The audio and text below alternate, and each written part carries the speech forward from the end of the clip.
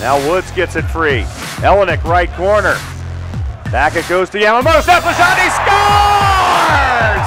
Kailer Yamamoto far post. And Spokane has tied this game.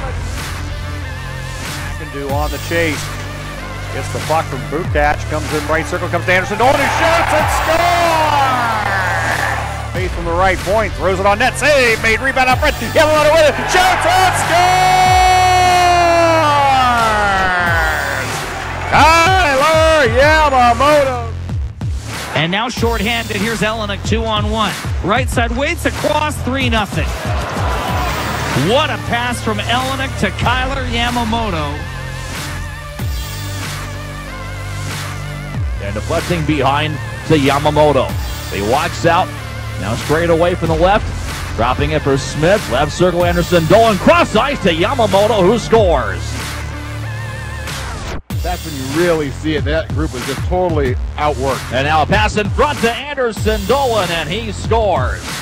It was set up right corner by Kailer Yamamoto who won a battle.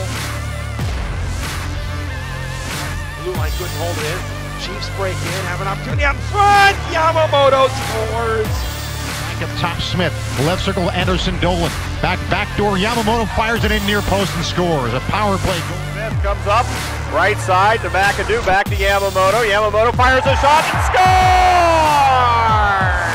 Kailer Yamamoto, after going down at center ice, joins the rush and snaps home his 17th of the year. Left wing wall skating onto Yamamoto, trying to take away a two-on-one as Casbite. He does as Yamamoto lets a shot go and he scores. Top corner, blocker side, and he's tied the game at three.